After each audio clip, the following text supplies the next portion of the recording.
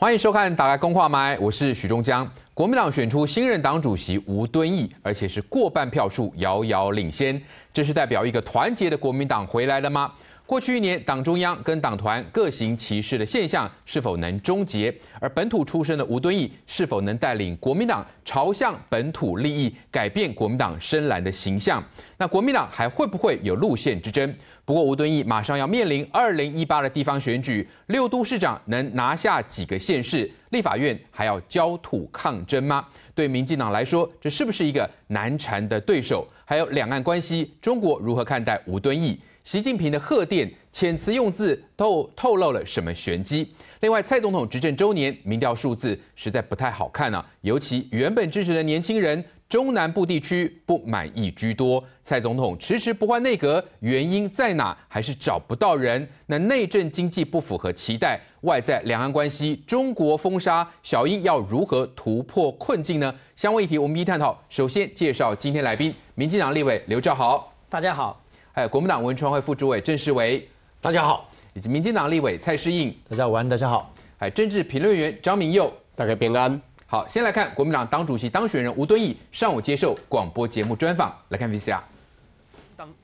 就知道你会当选吗？好。国民党准党主席吴敦义上节目谈党的下一步，距离正式上任还有三个月。面对党内希望提前交接，吴敦义说尊重现任主席。明天下午三点钟哦。那如果他没有提，我不会主动跟他提。如果他主动提，你会同意提前交接吗？那要看他的态度啊。同一天的行程还要拜会副主席郝龙斌，但传言党主席出炉之后，洪秀柱阵营气氛低迷。吴敦义认为哭哭很自然，但国民党不会因此分裂，反而会在上任之后贯彻选前的政见，统整党中央和国会党团。一定会是由中央政策会的执行长，嗯，跟总召同一个人啊。同时也会考虑必要的时候啊，说不定也考虑让他担任副主席之一哦。然后党团的三长将来一定会列席每周的中央常会。过去就是如此，只是这一年啊不一样而已。啊，回归到那样的以后，我相信呢，党团跟我们的党中央啊会成为一个非常紧密的伙伴，因为我们这个礼拜。五，已经是我们的整个会期的最后一次的党团大会，啊，我们真的是希望他能够来，简单的致意啊，啊，就是来跟大家 say hello 也好。国民党立院党团乐观其成，似乎希望主席尽快完成交接，似乎是要为了二零一八六都和二零二零总统大选提早布局。二零一八年一定要有有所斩获，就是现世的。执政的席次一定要增加。台北市用柯文哲模式吗？你都不要去提这些事，这不跟人无关呢。那那人跟事久在一起，我不会不会回答。你要参选二零二零吗？我我我没有这样讲。啊，我没有这样讲。啊，你要推郭台铭吗？我没有这样讲，我觉得都不排除要推谁参选。吴敦义保密到家，只说会团结，不挺执政党的泛蓝势力。对于回函中国领导人习近平时，没提到一中各表。吴敦义解释是用一九九二年海基会让前总统李登辉签合时的原文，两者意思相同，驳斥传言。吴敦义每一题都答得小心，就怕多说多错，打坏了往后的布局。好，国民党终于选出了新任党主席吴敦义。不过这三个月的交接期会不会太长呢？来，先请教世伟哥，那这朱姐呃会不会提前的这个交接？好，或者说他要不要？那再来就说这个吴敦义以十四点四万算高票当选了，比其他的这个候选人可以说遥遥领先。那这是不是代表一个团结的国民党回来了？首先，我们要谢谢哈，在这段期间各界的一个关心。当然，我们在呃上个礼拜六这一个党主席跟党代表的一个选举选举完了之后，当然要谋求的就是国民党。我常常在讲说，哎，国民党你在党内的一个厮杀，不管多严重，选完了之后一定要跟民进党一样，哎，他山之石可以攻错，你一定要团结一致对外。我我相信，呃，新的当选人吴副总统他呃当选的是四万多，然后过半，那我相信他。最近也都在陆陆续续拜会了一些呃同样参选这个党主席的候选人，那我相信他心里面有定见，以他过去的一个资历，他也在党部担任过这个党的秘书长，甚至于副主席，我我相信他有他的这一些呃规划。但是至于讲说啊，外界会觉得讲说，哎，这个三个月的等等到八月二十号上任的一个空窗期，是不是讲说呃久了一点？然后洪秀柱主席是不是会啊做提前交接？我相信我不晓得，但是依照党章的一个规定，它。就是如此。但是现在也不是只有讲说党主席的一个交接而已，现在后续大家会觉得讲说，哎，为什么要把五二零定投票，然后到八月二十号才上任交接？我相信当中除了党主席、党代表选举完了之后，现在要进行的就是中央委员的一个改选。中央委员的一个改选到七月底之前，包括了中央委员的一个选举，包括中常委的一个选举，我相信这是党内接续下来的这一个。是不是？那要不要提前？完全是不是看朱朱姐的主观意识了？主观意愿？我想完全看他是不是？我想看明天是不是说吴副总统还有跟洪叔叔主席他们现在呃外传是有说要见面。明天见面的时候，那你看当事人他们怎么样子？看他们怎么？当然，吴副总统他也有讲了哈。如果说呃交接是在七天以内能够搞定，那就不需要拖那么长。但是如果规定是如此的话，当然就。比照规定来做一个办理，我我相信这个是由现任的党主席跟当选的一个党主席，他们怎么样子去来做这一些沟通探讨，我相信要尊重当事人。那你觉得吴敦义当选对于过去了，我们说过去一年，这国民党似乎这个党中央跟党团各自为政，那吴敦义当选之后会终结这样的情况吗？我相信不管谁当选，今天愿选就要服输。那今天选完的时候，大家都遵照党员这一个选举的一个结果，大家怎么样子能够这样子亦步亦趋，大家能够团结合作。毕竟国民党在二零呃一四年地方败选，二零一六中央败选，现在沦落为在野党，而且在国会又是少数。我我相信大家外界期待的就是说，在民进党呃。执政了一年，然后蔡英文总统的一个民调这么样子的一个低迷，怎么样子当为这个呃第一大在野党，怎么样子能够谋定而后动，怎么样子能够浴火重生？我相信这都是大家急思的。当然，面对于二零一八的一个部分，我我相信这也是新任党主席他必须要好好的去做规划。对，的确，二零一八绝对是一个这个挑战。当然，吴敦义当选这个国民党党主席，来请教赵浩委员，就绿营的角度怎么看？他会是一个难缠的对手吗？那对国民党内部来说，过去我们说他们可能会有路线之争，那现在吴敦义他算是本土出身，那未来国民党的路线你怎么看？我觉得国民党的修正是，呃，国民党的路线事实上长期来是他们最大的一个问题啦，就是对国家定位的。呃，认同。那吴敦义上任之后会不会有所改变？哦，我觉得还有待时间的观察了。好，这第一个。那第二个，其实就民进党本身而言，我们其实外呃内在的挑，所谓内在的挑战，不是我们内部的团结，就是说我们表现出来那个政绩，事实上远远大于到底对手是谁了。因为我们面对今天无论是吴敦义或者是洪秀柱，其实我们面对都是一个庞大组织而且有庞大党产的一个政党，一个国民党。啊，所以我们觉得我们现在正身为执政党，而且完全执政，我们要拿出。一个好的政绩，在国会有好的表现，在行政机关有好的表现，其实才是我们最大的一个挑战呐。那至于党主席到底是呃是吴敦义，或者是洪秀柱或其他人来当，其实都我们是被站在一个尊重的立场。那毕竟是别的政党他们的他们的一个选择啦。哈，所以我觉得对民进党最大的挑战还是在内部的成绩要赶快把它拿出来。但立法院的部分，因为这个党党主席已经换人了嘛，那你觉得呃过去这个一个会期来看？因为这个国民党都是采取这种这个杯葛焦土的这个战略，那你觉得吴敦义上来，你觉得这个方向会有改变吗？我我认为，其其实这个长期过去这个两个会期里面，国民党、民进党的党党哎不，国民党的党团实际上跟他们党中央就是背道，就是各各做各的了。哦，所以我我认为现在既然换了一个。呃，他们一般认为会比较支持国民党党团的主席，就吴敦义，他会比较支持国民党党团的话，那我我认为他也也非常有可能呢。我们是这样预测，他的也许他的态度在抗争的态度，也许会就更强烈，会更会更强烈。嗯嗯，他们可能认为他们得到一个资源嘛，啊的那个背背后的一个支持。以以前党中央没有支持，他们都这样子做了，何况说现在的党主席，他们认为是支持他们的嘛。好，所以我认为，包括在一些重要的议题上，他会采取更。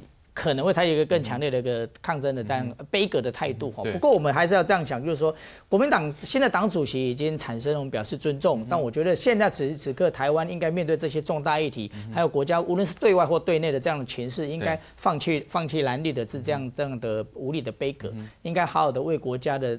呃，重要政策，大家好好的跨越蓝力来为国家的前途着想。对，的确，当然就是说，吴敦义上任之后啦，对于这个立法院的这个呃抗争的手法会不会放缓，或者说更为强烈，当然还要持续观察。来请教民友怎么看吴敦义这个上任党主席之之后，他们自己党内外的一些挑战。我觉得吴敦义上任党主席哦，尤其他以过半这么多的一个票数来看，表示说国民党的系统已经回回笼。什么叫国民党的系统呢？我们在这一次龙屿水利会选举，我们可以看到说，那就是一个前哨。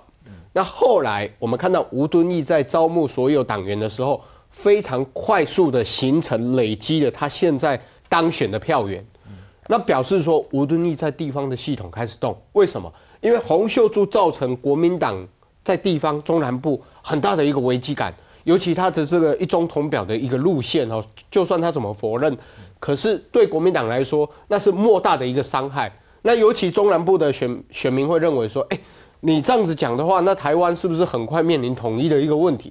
这些都是利益选民。这些都是比较顾及在地方选票的选民。那吴敦义去整合这些人，不要小看吴敦义。吴敦义包括到南部高雄的眷村，所谓的黄复兴的票仓，他还是一样有非常高的人气。所以我们可以看到说，民进党要担心的一件事情，因为过去这些选民在某些时候是跟蔡英文的票是重叠的。那今天所谓的利益选民，他已经选边站的时候。表示说，蔡英文政府某一些事情上面，让这些利益选民说：“哎，我还是回到国民党好了，还是回到国民党的拥抱，因为有吴敦义出来了。”所以，我必须说，未来的二零一八、二零二零的选举，吴敦义扮演非常重要的角色。他算是一个算我们讲俗话一点，就老谋深算的人。他非常知道政治利益的拿捏，他非常知道政治利益的拿这个呃播放。可是。洪秀柱犯了一个错，洪秀柱犯了什么错？他就比较刚直，他比较认为说，哎，国民党就是一定要照这样的路线去走。可是不要忘记，吴敦义是在政坛打滚那么多年的人，所以他在政治上的拿捏是非常精准的。所以在这一次选举里面，哎，包括很多的民调出来啦，啊，甚至呃，我今天看比较呃泛蓝的一些报纸哦。哎，吴敦义的事情好像就就就就就就只有这样子，洪秀柱的事情呢，好像就只有这样子，都不刻意去不去提，因为在选前的时候，大家都说他们押错宝了，因为吴敦义很信誓旦旦的告诉各位，包括吴敦义的幕僚，好，就钟小平议员，他不是要去告告那个呃举发他们什么人头党员的问题吗？他不是说吴敦义一定是稳定过半吗？果不其然啊，为什么会这样子？很简单，国民党的危机意识出来，尤其是本土派的国民党的危机意识。不能拖，为什么不能拖？一拖下去，我的利益结构会全部散掉。所以这次吴敦义的当选，可以证明什么？未来二零一八、二零二零的选举，民进党要面对的是一个本土派的国民党。那这个本土派的国民党的利益结构，我们一直认为已经。呃，民党一直认为说，哎，我已经破解了。可是吴敦义的回笼，我不认为说已经破解了。吴敦义的高度，它有可能让这些利益结构重新的结合。是好，那么吴敦义当选国民党党主席，外界所关注的各个层面，内外还包括他们的路线之争，会不会走向本土化？当然，还有一个。重大的因素就是中国如何看待吴敦义呢？来请教施英委员怎么看？因为这两天的报纸我们也看到，就是说习近平的贺电当中似乎有一些玄机，从称呼从您到你，哈，还包括这个所谓的呃，他在回复习近平贺电当中有所谓的呃，像什么中华民族什么伟大复兴奋斗啊，不去提两岸同属中华民族等等啊，哈，那中国会把吴敦义认为是有这个所谓的独台倾向吗？呃，我想哦，其实我们如果仔细来观察过去的这段选选举过程当中，可以了解这几个候选人里面，大概中国方面会认为吴敦义实力应该很强，可是这几个人里面，他大概最不放心的也是吴敦义啦。我们可以观察这个一个倾向出来哦。那呃，从他讲的几件事情里面，我们可以知道说，他其实是属于呃比较本土派的议员哦。例如他谈到一个 WHA 的一个参与的过程，我记得吴敦义曾经讲过说。中国方面应该对于台湾的参与 WHA 给予更大的宽容跟支持，不应该在这个地方来背革台湾的参与。但是他讲的这个话，跟国民党其他几个候选人比起来是完全不同的一个调性。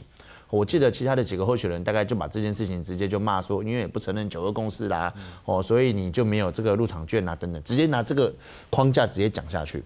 可是只有吴敦义讲出一个呃。不是如此的回答而已。哦，他讲出一个更具体的说，其实就情感的部分，应该在两岸能够放弃彼此的成见，能够合作。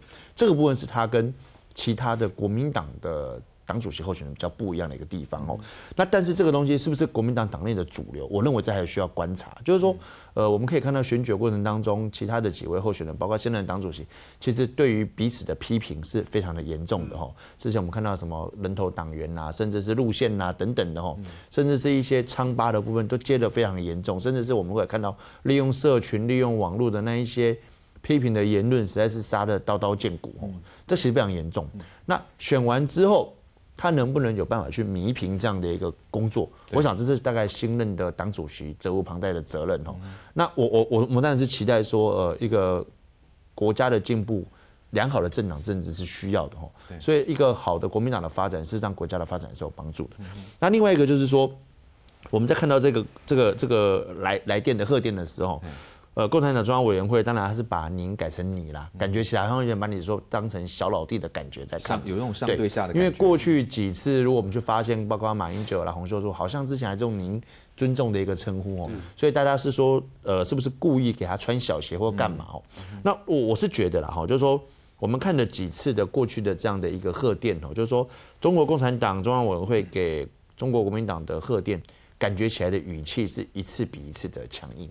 我的个人感觉就是说，他一方面他在他对民进党，他好像献出了民我们台湾的一个发展空间。可是你看到他好像对国民党在这个部分，似乎也开始画一些界限出来了。哦，那这个部分当然，呃，国民党可能内部也必须要去注意这个事情。那我认为他画这个界限出来，是不是的？是不是也是回应过去的那一派所谓的就是非本土派的那一批人？因为我们可以知道，选举的过程当中。非本土派的那一些人，事实上对于本土派的吴敦义是颇有维持的，所以甚至我们曾经也听过一些呃呃消息来源，说什么有一些人去跟习近平告状，说吴敦义这个人呃可能不适合领导国民党等等等。当然我们这是姑且听之啦，因为我们没有确实的证据。可是我们看得起来，感觉好像共产党在这个部分也是有一点像听其言观其行那种感觉。当然没有讲，可能还要再观察，没有讲的那么明显呐。所以我觉得未来有几个指标可能可以看，就是说。吴敦义怎么到？他因为他有说过他要到中国访问嘛，哈，他去中国访问的时候，他获得了待遇，他在中国说什么话，以及他跟习近平的互动，我觉得可能是一个观察的指标。对，第二个，因为他本身台湾本土基层出身的背景哦，所以我其实我可以聊，我可以相信吴敦义比起其他候选人来讲，更懂得台湾自己本身的语言跟想法。嗯好，所以大家在谈到立法院的对抗，我其实。另外一个角度来看哦，因为他当过地方的议员，地方当过立法委员，当过县市首长，对，他其实很清楚的知道有一些基础建设的推动是有它的必要性的。他也当过高雄市的市长，他也知道南北的差距。我记得过去吴敦义在担任高雄市长的时候，曾经一直在骂说中央不重视高雄啊，讲了很多啊。从他那个时候，后来他的落选，他记得他落选的时候，除了说。选举他可能批评选举奥博之后，他讲了一个很重要的是说，因为中央不重视高雄，不重视南部，让他能够落选，让他孤城无力可回天等等哦。所以我认为，也许他在另外一个角度来看，支持一些前瞻基础计划的推动，我认为比起现在的党主席来，应该更有机会。不要忘了。他在当副总统任内的时候，马英九其实也推动一些基础，也推金额更高，接近一兆。另外还有一个消费券的发放，所以我认为他可以了解这样的一个政策对于整个台湾经济的发展，也许有这样的一个讨论跟必要性。我认为相对来讲，他也许会比较用理性的态度来看待呃国会的政治运作的状况。对，的确，吴敦义当选国民党党主席。会不会把这个过去国民党比较深蓝的形象往中间来移动呢？当然，二零一八的挑战还很大。那吴敦义在这当中到底能够拿下多少成绩？我们看到新台湾国策智库今天是发布六都首长的满意度民调，高雄市长陈菊是拿下施政满意度的，还有好感度是双冠。那桃园市长郑文灿满意度也比去年上升最多，是第二名。而新当选的国民党主席吴敦义只有十八点八趴，他甚至比对手洪秀柱还要低。来看 VCR。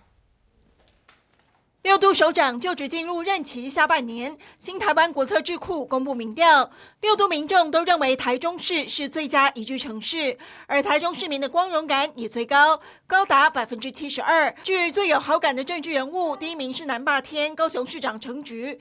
接着是台南市长赖清德，台中市长林佳龙第三，台北市长柯文哲也挤进第四名，好感度比去年提升百分之八点二。但新科当选的国民党主席吴敦义却敬陪末座，只有百分之十八点八，比对手洪秀柱还要低。呃，蓝军的立委说，侯武的不一定是挺吴，只是认为他是现阶段最能带领国民党来对抗民进党。呃，这样的一个说法哈，吴敦义有可能变成是像工具人这样的一个角色。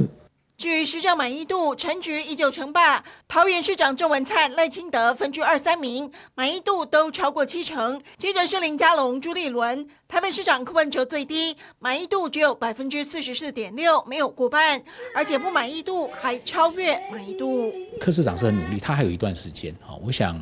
呃，连任机会我觉得还是有的啊，因为你可以看到他的进步，他不是一直往后退。那桃园市不要讲了，桃园市是几乎在这次的调查当中什么都是最好。当然，陈局赖清德他们他们施政满意度非常高，然后前瞻计划也提出多非常的钱给他们，那么已经有可以更上一层。好，我们看到面对二零一八，其实对蓝绿来讲都是一个挑战。那今天这个新台湾国策智库所公布的这个六都市长的满意度，我们看到陈菊是最高七十五点四，郑文灿呢七十四点一，赖清德七十二点四，林佳龙五十五点六，朱立伦五十三点四哦，柯文哲是四十四点六。那另外在这个对于政治人物的好感度呢，我们看到排名也是陈菊最高，再来赖清德、林佳龙、柯文哲。侯友谊四十四点七，反而比朱立伦还要高四十一点八，这的确是蛮吊诡。再来，蔡英文哦，尤喜坤哦，郑文灿，再来洪秀柱二十二趴，再来吴敦义十八点八趴。我想请教世伟哥，你怎么看这份民调？为什么吴敦义刚当选的这个党主席，但是他的民众的好感度却是这么低？如果这么低的情况之下，二零一八呃，你们的目标到底是多少？六都市长可以拿下几都？我想民调都做参考了哈，包括了前一阵子蔡英文总统施政满一年，你看到他的民调这么低迷，总统府也是讲说做参考，而且蔡英文总统讲什么，他不为民调做事啊。那我相信这一份民调我们都做参考，但是好在吴敦义呃新任的这一个当选的这个党主席吴前副总统，他在二零一八他没有要参选，嗯，但是他现在总刮的是怎么样子能够凝聚国民党党内的这一个基层。然后各方面怎么样子运筹帷幄，然后提出适当的一个人选，在二零一八参选的一个县市首长，甚至于县市议员，乃至于乡镇市呃乡镇市长，还有这个基层的一个村里长的一个工作，我我相信他现在在上个礼拜六呃当选了之后，外界都在想说，哎，现在要怎么样子做这个党内的一个整合，没有错。攘外必先安内，我我相信国民党，我刚刚就讲了，从二零一四、二零一六中央地方接连败选了之后，那国民党或许我我也常常在讲，这一年来民进党做的这么差，结果国民党的一个满意度，他也不见得做提升，或许在民进党清算斗争之下，国民党或许乱了套。或许国国民党中央跟立法院，他在做这一个呃呃政策的一个拟定的时候，或许他的有不同的一个看法，但是党中央也尊重这一个立法院党团的一个自主。我我也要回应一下刚刚赵豪委员说的，你说吴敦义上任接手了这个党主席之后，未来立法院国民党团会不会再像过去这么样子的一个激烈的一个抗争？我相信也取决于执政党。执政党如果说你不要蛮横一党独大。然后你强行要过关，哎，连一个字都不能改，把朝野协商视之为无物。我我相信国民党身为第一炸在野党，我相信人民也都在监督吧，都有都在看，不是讲说哦，我们都是无谓的一直一直抗争。我相信少数要服从多数，多数也必须要尊重少数。那你再回过头来，你讲说明年的一个选举，大家都寄望新任的一个党主席出现的时候，明年他的一个选举的一个成绩到底？是有没有比现在还要好？我我相信这是党内全体上下大家都要谋求的。但是同样的，我刚刚也讲，吴前副总统从过去担任台北市议员，包括担任立法委员，包括担任县市首长，甚至于在国民党两千年败选的时候，他也担任在野党的一个党的秘书长。我相信他全国所有的一个县市。他要做这一些拟定的一个策略，我相信他心中是有负案的，而且他以过去的一个经验，他在明年他怎么样来做布局，我我相信他也了然于。是不是我们比较讲实际点？今天吴敦义当选国民党党主席，如果把这个过去国民党深蓝的形象往中间挪移，对于你们的支持度会不会比较有帮助？我相信中将必须要这样子讲。我刚刚也讲，他也担任过行政院长，而且做过副总统。所以你在朝，你必须要能够治理。嗯在马英九八年任内的时候，大家也都知道，讲说在吴敦义担任行政院长那一段期间，他的一个市政满意度，所有的隔头业的满意度是相对高的。但是你在野的时候，大家也希望讲说在野也能够制衡执政党。但是你对于两岸的这一个共识的话，不是像现在的执政党，哎，两岸的关系要死不活。我我相信，除了深化九二共识，你一中各表的一个表态之外，怎么样子能够让两岸？他虽然是敌对的，但是是能够和平发展，能够双向交流的。但是同样的，你在主权的一个捍卫上面，我我我相信我们也不能够放弃。我我们也不能够让民进党过去在野的时候讲说，哎，你都轻中卖台怎么样子？事实上，民进党执政了一年了，现在你可以看到了，国民党有轻中卖台吗？国民党有把台湾卖掉吗？没有嘛，反而是民进党，他现在对于两岸的一个政策，多数人不满意。为什么？两岸停滞不前，而且对于经济来讲的话，全部都没有负案啊，对不对？我相信人民要的都是够巴豆嘛。你怎么样能够把经济顾好，这才是最重要的。来来，赵浩伟，你要回应一下世辉哥，他说，因为这个立法院的强力抗争，是因为来自于民进党的这个独大吗？是是因为这样？那在二零一八，民进党挑战又在哪里？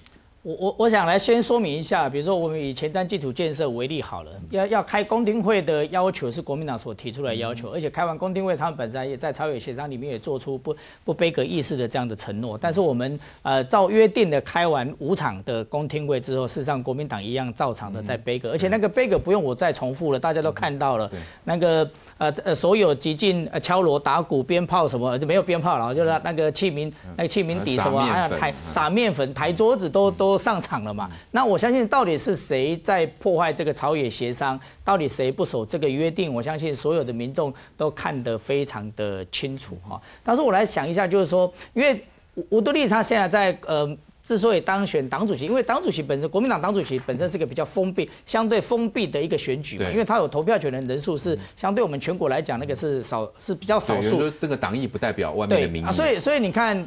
呃，吴敦义他所做的语言，他希望说会配合这样的一个选举嘛。但是不要忘记了，他当回到主流社会的时候，他面对许多的问题，实际上没有办法，没有那个模糊的空间，他可以说一些话啦。好，比如比如讲说，我们现在我们我们面对的年金的问题，我相信一个任何一个政治人物，在呃认为自己高度够的一个政治人物，他在这个议题上，事实上也没有那么多你可以讲的。光两面都讨好的话语嘛，比如说两岸的定位，我们说的很清楚，就是说九二共识这一件事情，已经在经过中国大中国一而再再而三的讲，就是说九二共识就是一个中国原则，那一个中国原则就是认为台湾是属于中国的一部分。我相信这个是中国政中国大方面是讲的再清楚不过的一件事情。现在不是我们有办法去模糊讲说啊，我们这九二共识就是一中各表等等，不是。九二共识就是一个，而且二零一六大选已经民意把它否决已经讲得非常的清楚，所以其实这也是国民党的一个难题跟挑战呐。就是说，在这件事情上也没有办法，已经过去的八年，也许马英九他用一个模模糊，他自己自认他创造一个空间出来，但是这一两年，中国已经扇狠狠的扇了一两个耳光，说不，这没有模糊的空间，这就很清楚的说，九二共识就是叫一个中国原则，而且。台湾属于中国的一部分嘛？是。那那我那其实这件事情，呃，我想任何一个政党、任何一个政治人物在这件事情上，当然有一个选择，他没有办法去模模糊的这样的表达了。对，来来，是因为怎么看？二零一八，那么对国民党来讲是一个很大的挑战。那民进党呢？这样啊，首先我先还是补充一下刚刚刘兆豪刘委员讲的，就是说这个过去这一年呢，在立法院到底发生什么事情啊？我跟刘兆豪刘伟我们都在。都是立法委员哦，对，其实也几乎天天都待在立法院看整个状况。我讲几个案子，像一例一休这件事情哦，并不是民进党独创要过这个案子啊，是因为在先前劳基法的修正案没有修正完毕，而这个时间是在一百零三年、一百零四年的时候，所以后来就是因为怕得罪人或者很多的考量，修到一半之后，立法国民党在立法院占多数的时候就不修正了，所以等到我们第九届立委上任之后，接续这个案子继续修正下去，这我讲的第一个部分。第二个部分，像最近在谈到前瞻基础建设的部分，实际上国民党他提了很多，他当天出了杯葛之后，我们没有说不能修正我任何文字，你要修正前修正时间，大家都可以讨论呐。最后他说我都不要修正，你就先退回去再说，他就是一个要求啊。然后国民党自己提出来的版本更夸张啊，他有提到要一兆哎，我记得是花莲的徐正威徐委员提出来的，对，自己提一兆，甚至有有委委员的版本是四年就要花八千八百亿。我说哇，这更夸张了。这他们提出来版本啊，没有人逼他们啊。另外呢，这个年金改革方案，大家都知道要改啊。马总统在最后几年就一直说要改，他卸任的时候记者会访问他说，最遗憾的一件事，年金改革没有完成，大家都犹记在耳啊。那民党现在推动不就是跟随有很多的版本？事实上，过去一直累积起来，一直在做的，绝对不是突然间谁上任就突然新创一个东西。所以我认为这些这些事情，我们应该要合作一起来讨论。过去国民党任内推的一个案子叫做这个呃一年三兆多的一个预算也过啦，没有没过啊，也是为了要国家能够做得更好，包括发消费券等等。当时民进党有不同意见，但是没有用这种方式来抗议啊。所以我会觉得说，呃，我们是期待吴敦义当选。新的国民党党主席，他应该去了解这个其实是一个对建设有帮助的事情。对，因为事实上很多的案子。没有人，你支持没有，因为你支持哪一个政党，而而能够说这个就你能不能想，没有这回事嘛？更何况他的案子在公共工程的招标过程当中，我们我们有哪一个公共工程招标说你只有支持哪一个政党参标？没有这回事啊！是我们大这更何况我们都知道，大部分的大企业跟国民党关系都很好。对，的确，如果要这样讲的话，我们应该不应该要推动建设才对啦？为什么？其实吴敦义上任党主席，其实真的要思考一下，那么过去强力抗争的结果，到底有没有增加国民党的支持度？来，民友，不不好意思，我再补充。哦，你再补充。刚刚那自己二零一八的那个部分，我的看法是这样，就是说。呃，任何一个政党，当然要提出好的候选人出来，然后，那我认为说，至少对于呃吴敦义吴主席来讲，他就任到二零一八年有两年的时间，然后，他比起呃民进党的蔡英文蔡总蔡主来讲，他应该有更多的心思去找出。呃，他认为不错的候选人，然后因为他是在野党嘛，那我也认为这是个好事，就是说各个政党能够提出不同的候选人，让民众来做一个判断，我认为这是一个好事。我就说你提出来这候选人，你提出政见，让人民呢，那这事实上也是鞭策给给执政党一个压力，就是说你不要以为好像在野党软趴趴，我觉得这样也不好。一个强而有力的在野党，能够让执政党的。呃，所谓的施政更有效，更能够回应人民的期待。哎，没有来。哎，我觉得吴敦义哦，他是他，除非他做一件事情呢，就是宣誓说我不参加未来总统大选，因为我觉得他所有的寄望还是未来能够有出现的机会除非他带领国民党的改革是说，哎，我放弃这些位置，我全心全意的放弃所谓的这个总统的位置，总统候选的位置。我我觉得郝龙斌对他的祝福有三点哦，我觉得是国民党现在面对的。问题啊，就是团结哈，不要只喊在口中。因为洪秀柱那时候你还记得他上任的时候，他要选的时候，大家说他是定砖石啊，结果定砖石定到整个立法院党团那个地基都跑掉了，跟国民党中央地基都跑掉了。那第二点，要真正推动改革，可是我们现在看到吴敦义副总统他的改革，其实国民党现在改革是暂停的状态，为什么？因为如果说让本土派利益结构回来，国民党改革一定是暂停的。那另外一件事情就是年轻化。其实呃，P D E 上面今天也很多的人在讨论说，呃，洪秀柱有一群年轻人在这时候宣布说要退出呃国民党的一些运。我认为说国民党现在年轻化的困难度非常高。对。那所以所以刚才仲江哥提到说，包括说蓝绿政治人物的好感度，让我最意外的一个人是谁？这一讲到二零一八大选，尤喜坤，嗯哼，对，尤喜坤，对 对，他是唯一里面什么都没有位置的人，他还有三十四点五 percent 的支持度。是，我认为说未来民党或许考虑一下，说在新北市方面能够推尤喜坤出来，或许跟侯友谊是有的拼，因为他完全一个没有造势、没有声势的，是，所以国民党未来在面对二零一八的时候，吴敦义的决策，我相信他的脑海非常清楚。怎么样将这个利益结构去生效？是未来吴敦义会怎么做？大家拭目以待。我们先休息一会，稍后来关心蔡总统执政满周年，成绩不是很好，到底困境在哪里？先休息一会，马上回来。蔡总统就任一周年，台湾民意基金会公布最新民调，超过四十八趴的民众。给蔡总统打了低于六十分的不及格分，总平均是五十二点四分。基金会解读，这显示台湾人对执政表现不满，但不是死当，大家仍愿意给蔡政府一个补考的机会。来看 VCR。民国第十，蔡政府就任满周年后头一个上班日，台湾民意基金会以“民进党重返执政，暨蔡总统执政一周年”为题，发表最新民调，并找专家学者共同解读。针对蔡总统声望部分，民调显示有三十九点四趴民众赞同蔡总统领导国家的方式，不赞同者却有百分之五十一点八过半。若要对蔡总统执政满周年打分数，有高达四十八点三趴民众打出低于六十分，只有二十三点二趴的人刚好打六十。分总平均分五十二点四，显示民众认为蔡总统表现不及格。五十二分是活当，不是死当啊！活当还有补考的机会。他们啊打出五十二分是说他们要他们要给蔡英文总统 second chance。对前瞻的部分呢，的确就是呃原来预期可能要得分的结果，看起来这个负分呢啊大于正分了哈。带领民进党二度重返执政的蔡英文，有三成四民众还算满意民进党表现，但不满意者高达六成二。其中，蔡总统上任来经常成为话题剑靶的林权内阁，民调有五成八不满，只有三成四满意内阁过去一年的表现。所以蔡依林体制目前还挺得住，但是民调背后代表的是民，你不能不看民意。但是我觉得他有点像是虎妈了，所以很多的那个事必躬亲呐，所以那些部会首长也唯唯诺诺嘛。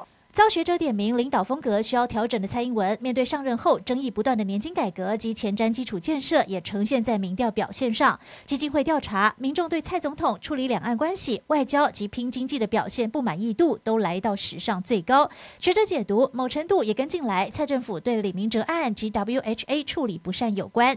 虽然蔡总统在五二零表态，他只为国家做事，不为民调做事，但学者们语重心长，要奉劝蔡总统。如果民选总统不为民意做事，那他要为什么做事？好，在我们讨论这个蔡总统执政这个周年的民调同时呢，我们也收到这来自日内瓦的最新画面，也就是今年的 WHA 卫生大会是没有给台湾邀请函，不过卫副部长陈时中还是率团前往日内瓦，目前正要召开记者会。那么，呃，卫副部长陈时中如果呃出席记者会发表谈话的时候。那么，透过画面上，我们都可以看到在日内瓦的即时画面。回到我们的讨论主题哦，那么蔡总统执政周年，有三十九点四的这个呃民众呢是赞同这个蔡总统领导国家的方式啊。我们来看到这个数字，赞同有三十九点四，不赞同是五十一点八。另外呢，在对呃蔡总执政周年打分数的这个总分呢，总平均是五十二点四分，是不及格的。另外，在这个呃，民众对于蔡总统执政的这个部分有十大满意排行榜，那么其中第一是追讨国民党不当党产，再来是国民年金的改革，再来是国防的表现。那不满意的部分，我们看到第一是经济表现。第二是林权内阁的施政表现，再来是处理两岸关系的表现。来请教民友怎么看这个蔡总统执政周年到底困境在哪里？那如果民众对于这个明显的施政是不满意的啊，尤其是经济摆第一，那到底是不是要进行内阁改组，回应民意要求？我觉得蔡总统执政之下了哈，我们可以刚才蓝绿那个那个呃政治人物的排行榜里面，我们可以看到林权这二十二点多的。的好感度，从这里可以证实一件事情，就是蔡总统执政之下的整个政府体制，他有点太学者心态。为什么？我们过去在批评马英九的时候，哈，他在处理任何的政策，哦，都是保持那种啊所谓的学者风范，不听民意，跟民意有点距离。其实你如果认真去看刚才中江哥讲的那些民调，你如果说追讨党产的部分，哎，你看有五十二点多的台湾人民是支持的，为什么？因为他认为说不公不义的地方，就是我寄望你政府应该要做的地方。那你看，连那个所谓司法改革比较慢，比较慢的时候，变成民众会不满意，说，哎，你司法改革太慢。有五十五 percent 的人认为说，哎，你司法改革太慢。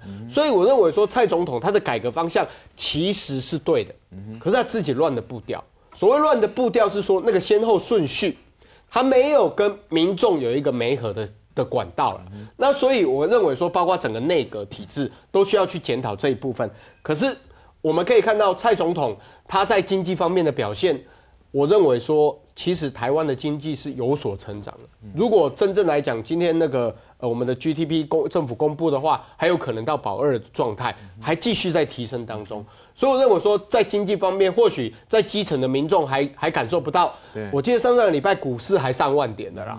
那我们的的这个景气灯号也从蓝灯已经九季多了，所以我认为说政府它在这一方面或许呃在台湾的总体经济上面是慢慢在提升，可是人民感受度非常低。对，因为文原因在哪里？我觉得是物价。那物价过高，那薪资的调涨的幅度太小，那加上一例一休。这一方面的冲击，其实让很多人民的感受非常深刻。对，其实回过头来看一例一休的问题，你看满意度只有三十五点多，不满意度达到五十四点九。一例一休最大的一个问题，其实是它凸显整个政府体制发生一个很严重的问题，就是跟民意的脱节。对，为什么我要这样子讲？因为很多中南部的中小企业。他认为说一例一休造成我中小企业人员上配置的问题，那劳检上的问题，这些问题造成受害的不止中小企业，连寿星接铁劳工都出现问题，相对把这些责任推卸到政府身上，政府的改革是不是对的？对的，他希望劳工环境更好，可是他乱的方向，乱的套，包括说呃劳动部长他讲话有时候太快，就我说前任的啦。讲话太快的时候，造成大家对政府的误解，说啊，你安尼走前温的困扰啊。所以我认为说，在现在政府应该是把最会沟通的政府找回来。对，因为我觉得蔡英文总总统最大的问题是沟通的管道太过于封闭，对，的确，而且他好像是把自己封闭在那个枷锁里面。他应该赶快把那个枷锁解开。对，的确，呃，透过画面我们看到这个来自日内瓦的最新画面，卫福部长陈时中。那么，在这个日内瓦召开记者会，要跟各国来沟通有关这个参与 WHA 的相关事宜。回到我们的讨论焦点，来请教适应委员，这个蔡总统执政周年了。那当然，蔡总统也说了，这不为民调做事。但问题是，民调摆在眼前，你也必须参考。那民众如果说对于这个经济是最不满的，那恐怕你必须要有所回应。那不然，恐怕这个所谓的还有补考的机会，那恐怕下次民众可能会翻脸哦。呃，我想这样子哈，这个 TVBS 哈。其实，在每一任的总统都有做常态性的民调，或者有台做的。我我看了一个有趣的数字，可以发现哦，这三位总统哦，就任的时候刚开始都很高，然后就开始滑楼梯滑下来，然后一直到就任满九个月的时候，大概滑到最低点左右，然后到十二个月之后，大概我们可以看到前两任总统，包括是那个陈总统跟马总统有往上的趋势，那蔡总统大概是一样痛。那我的观察是这样子，就是说。呃，其实总统上任刚开始一定有一个刚开始的磨合期，不论你是不是准备再怎么样，因为毕竟你接了这个位置，找新的人来做这个相关的工作的时候，一定会有一些磨合期。刚开始的时候磨合期会有一个下下降的趋势，但是过了大概八九个月之后，大概走毛你的你的车子走顺之后，你的民调有可能缓步的回升。好，这一般的流程来看起来是如此。那为什么蔡总统他没有办法能够缓步的回升？那我认为应该就是大家对于这样的一个改革的期待。认为进度还不够了。那我认为改革的期待进度还呃这样的进度还不够，很大的一个原因是我觉得目前的台湾面对的国际的新情势的威胁，事实上比起过去是来的更加的严重了。为什么这样讲？吼，大家都知道，呃，中国的国力在这几年的是力量非常的强大了。吼，它从过去一个只是推动小康社会，变成中国现在在国际上已经能够指手画脚，决定很多的事情。这样的一个状况，在政治上，我们的国际空间的参与，事实上是更加的困难，这是确实的。好，第二个就是说，那他在经济上呢？事实上，我们也发现，他的国内经济越来越强之后，他开始也出现一个排外的倾向，有很多的跨国企业或者外资企业，最后都面临出走的一个命运。所以，包括很多欧美的企业在那边做不下去，结束营业，或者是有很多的台资企业在那边，你做到一个困难点，它也往外撤退的问题。所以我认为，对于这些的局势来讲，都是我们蔡英文蔡总统必须要面对的了哈。那台湾本身的经济状况真的有那么不好吗？哦，其实按照相关的统计指标看起来，最近这一年的经济状况其实是缓步上升的。哦，包括说我们的经济对策讯号变成绿灯。哦，我们的股市这两天在一万点上下徘徊，都比过去一年来的好很多。但是数字好，但是民众感受度，所以这就是这就是问题，就是说。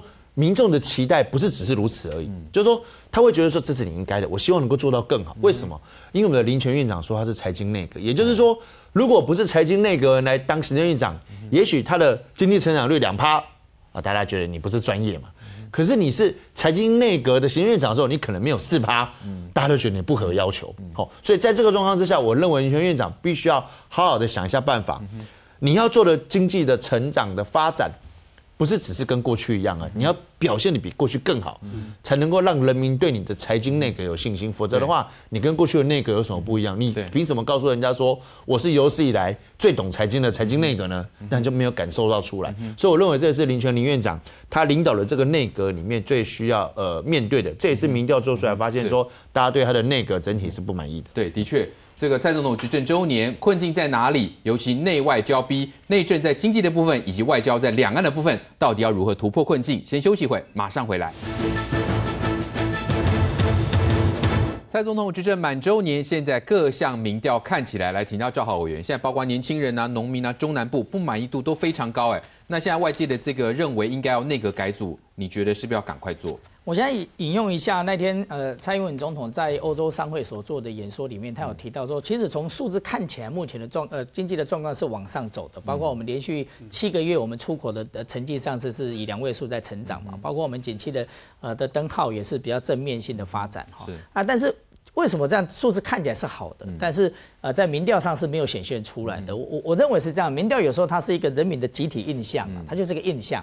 好，比如说包括呃这一年多来，包括啊一例一休也好，或年金改革等等，好，包括立法院的这样的状况，人民这样的一个印象，也许就是说我们政府好像啊行执政团队缺缺乏一个。魄力来解决这样的一个，或者有一个实质感受，比如说我薪水有没有增加？对对，就今天如果我薪水有实质增加，那我一定觉得哎很好啊。对对对，我觉得这个是很实际的。你说你数字再怎么漂亮，但人民他没有感受，比如按外薪水赶快我领二十五 k，我一样照领二十五 k。按你说经济不要说两趴了，这 GDP 成长五趴，我也没有感受嘛。所以我认为说这比较实际的问题，说我其实我是很建议我们的蔡英文总统，也包括行政团队，当我们这所有包括很多年金改革、一例一修都处理完毕之后，我觉得实际上政府应该。大胆的反把这我们 GDP 的，既然我们政府一直说我们 GDP 是有成长的，应该把这个 GDP 的成长反映在薪水的增加啦，分享给全民。对，我觉得政府要做这件事情，包括我们基本工资的调升了。虽然我们现在师资领的已经比基本工资高了，但基本工资的调升事实上还是能带动一些呃这呃薪薪资的调整，也包括